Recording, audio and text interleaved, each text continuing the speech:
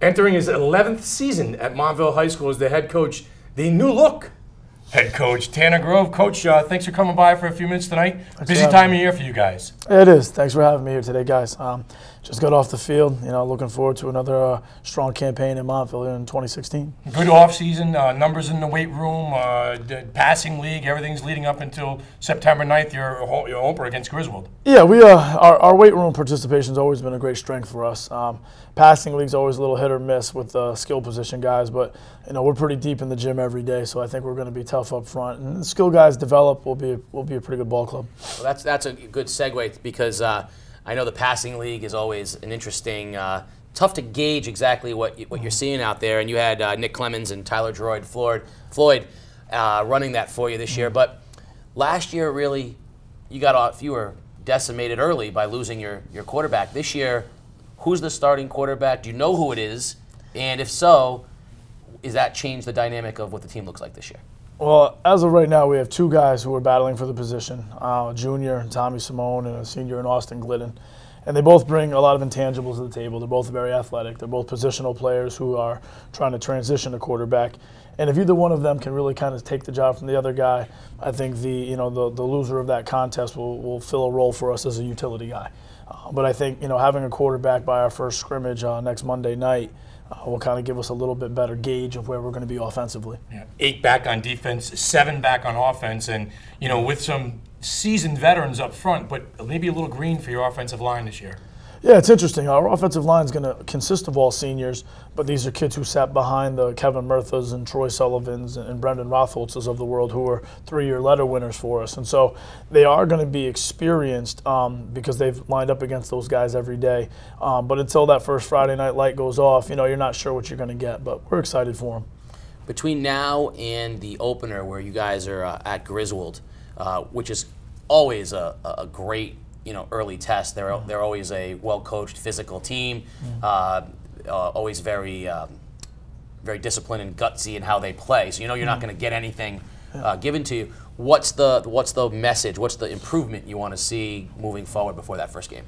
Well, we have we have two scrimmages here in the preseason um, that we're going to evaluate the kids and look at and look at the depth charts and find out who can play where, um, because we know you know we have to be set by that Monday before we play Griswold. We have to have everything in place. Uh, the one thing we've harped on so far in preseason camp is making sure that we, we're going to play our best 11 players. And so, what happens at a, a, school like Montville, if that means the best 11 players play offense and defense and special teams, they're going to do that. So, you know, our, our, our athletes are very well conditioned right now. Um, but we're looking for some of that depth because that same token, if you have a kid starting two ways and he gets hurt, you've lost two positions one week instead of just the one. So. The biggest challenge um, for your, your staff this year and your team, and maybe some of the expectations coming off of a five and five season last year. It's, it's difficult. You know, we've had a pretty good tradition at Montville High School, uh, winning a lot of football games, and you know, I think with that comes a little bit of burden on the kids. And you know, one of the things the coaches have done a great job in preseason camp is getting the kids to embrace that burden. That you know, you want people to you know, go bananas and, and, have a parade when they beat you because they haven't beat you in a decade. You know, you, you want that, but at the same time, you know, that's what drove you in the offseason to get better. You know, some people have beaten us for the first time last year, and that's what those kids have kind of used in the weight room. They've used it on the field. They're using it right now in, in practices to kind of motivate themselves to kind of right the ship, get things back in order, get back to eight, nine, ten wins and playing in the postseason. Did you ever think you'd be the, the one of the veteran coaches in the ECC? I mean, going into your 11th season, that makes you one, with all the changes that have come about in the ECC this year, that makes you one of the, the veteran guys. Yeah, it was really interesting. I, the old timers, huh? Yeah, I, I, can't believe I talked to, you know, tomorrow about that the other day when Mr. Crudden stepped down and then, you know, uh, Jimmy stepped down earlier to be an administrator. And you know, seeing not seeing some of those guys across the sideline has been different. In the first coaches meeting this year, not seeing some of those familiar faces has been very different. I never thought there'd be a day where I was the old guy in the room, but uh, I guess I got to embrace it. Well, you got a new look, you got a brand new season, and we wish you nothing but best things this year uh, in the ECC in the league. Thank you very much, guys. Appreciate you having me here today. Good luck, coach. Thank you. Thank you. All right. All right. Oh, Good. Beautiful.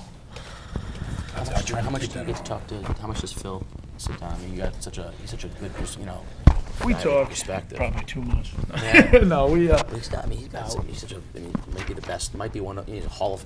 Hall of Fame you put if you had the. It's to the point now where if you had to look at like you know the the Hall of Fame coaches of the area. He's he's right there. I mean, Yeah, he's he done is. everything. He's, um, it was it was it's a little hard for me at first with him becoming the AD because he's also my best friend. He's gonna be at my wedding this year, and you know he's a guy. I- You're getting married? Yeah, I'm getting married wow. the season this year, um, and uh, so he's a, a guy I go to for a lot of that stuff. But uh, our roles have changed now when he sits behind that desk. But he has been.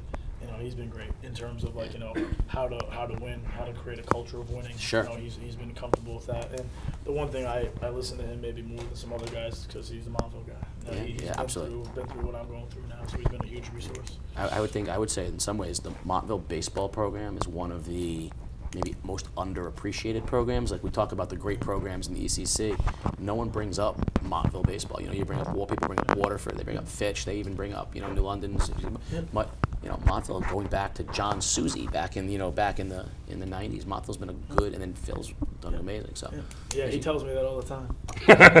So you have to say, luck. you're not gonna, not, you're not, you're not gonna, you know, he will tell you. That's for that for sure. Thanks, Thanks, a lot, All Dan. right, we'll see you guys like week three or week four. I think we see you good. Yeah, guys. give me a shout. Yeah. Thanks Yeah. guys. Coach, come on in. Coach, come on in. We'll sit you down in the middle. How are you? Good stuff. Good. Can you run the mic up inside the t-shirt? AJ, could you give me my phone real quickly? I can clip it on your collar. Coach, um, numbers back from last year? Yeah, we're right around the same numbers. Uh, I mean, how many you got returning on offense and defense? Um, Because you guys lost a lot on the offensive side. yeah, we did. We lost a lot of guys. Uh, we have uh, two. We probably have four or five guys back on offense, about the same on defense. Okay, so you, you're a young team.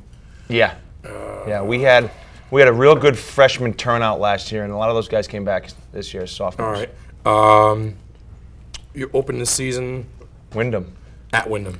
Oh, home. okay. Home against Windham. That's a different look now. Yeah, we we we lost that game up there in a the hail mary there at the end last year. No, that's right. Our two- That's right. two